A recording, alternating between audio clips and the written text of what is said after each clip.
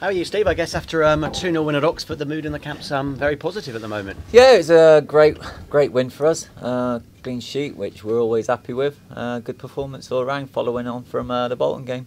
Knowing Darrell Clarke like I did, he probably enjoyed it for about 10 minutes and then um, st- straight away preparations for the next game. Very much so. Uh, got a game on Saturday, a very big game for us. It's a chance to bring in some more points and uh, see where it takes us. Yeah, you're taking on a side above you in the league table. It's a, it's a, it's yet another tough test. You seem to be playing a lot of the top teams at the moment. We have. Uh, we look at our February. It was a really hard February, and we've come out of it sort of very well. Uh, obviously, we want to take that sort of consistency into the next set of games.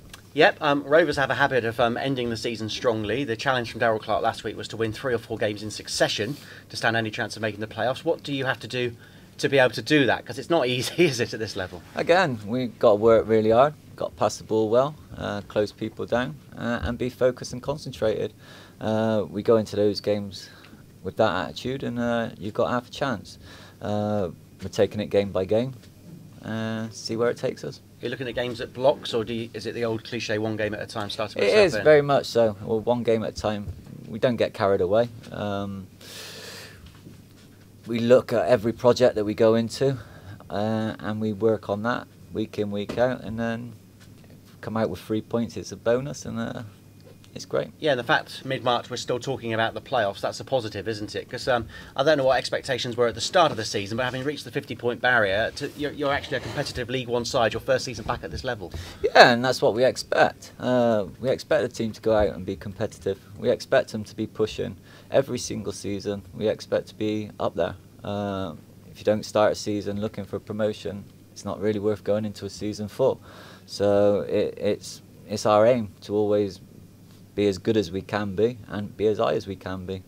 And you've got this unbeaten run. Um, obviously, the, the, strikers aren't scoring at the moment, but last week Stuart Sinclair, Ollie Clarke did get the goals. Is it a team effort, or would you like the strikers to weigh in with a goal or two? No, it's a team effort. You know, we, we keep clean sheets together, we score goals together. Uh, it's, we expect our midfielders to score goals. We, we expect them to chip in with maybe five goals a season. Uh, your wingers to score some goals, our defenders to score some goals, and uh, it, takes a little bit of burden off the strikers, but goals will come. They're great lads. They work hard, and, and the goals will come from them. Don't get any chance to rest in football. Already preparing for next season. Chris Lines, Stuart Sinclair, Ollie Clarke all signing new contracts this week. Yeah, it's great news for the club. Uh, obviously, uh, two of them are local boys, and uh, it's great to see local lads sort of staying with us and trying to progress the club. Uh, great news for the fans, I think. Ollie Clarke, possibly one of your most consistent players this season, but he could do better, can he? He's been excellent. Uh, he's always been a fantastic sort of player to have in your squad. He can come in, does a job, and this year he's been really consistent. Had a lot more run of games, and uh, he's in good form. Uh, but hopefully that'll carry on over the remainder of the season once his suspension's finished. And I think um, Stuart Sinclair, people wondered how he would cope at League One. Um, how would you assess his season, bearing in mind he signed the contract today? Um, he's been very good. It's sinks is sinks. You know what you're going to get. He works extremely hard, gives you absolutely everything, uh, and it doesn't matter what league you're in. If you if you're willing to work hard and get in people's faces, then you're you're playing any league. Uh, there's no reason why he can't play higher up the leagues because he's come from non-league. Uh, but he works really hard and, and he's a very good player. And if, if you've got that attitude, then you could play in any league.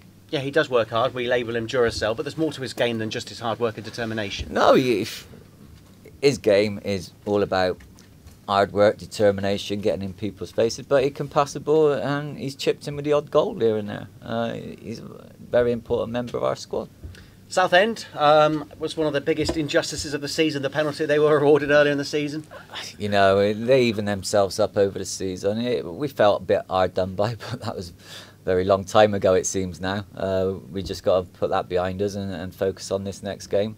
And uh, like I say, if we work hard and, and, and, we do the right things, then we'll give them a good game. Yeah, managed by Phil Brown. Um, I was going to ask you what their strengths are. They obviously have strengths because they're challenging for the playoffs as well. Yeah, they they they've gone through the season very well. They're, they've been consistent. They're up there. Um, like I say, week in week out, there's not a lot between the bottom teams and, and the top teams. Uh, everyone can give each other a, a very good game on the day, and uh, we we got to be on our toes and we got to approach the game as we we've approached every game this season.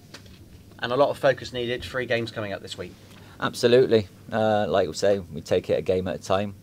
Uh, you always need that focus and concentration in every game that you play, uh, and it's no different. We'll, we'll approach it in, in exactly the same way.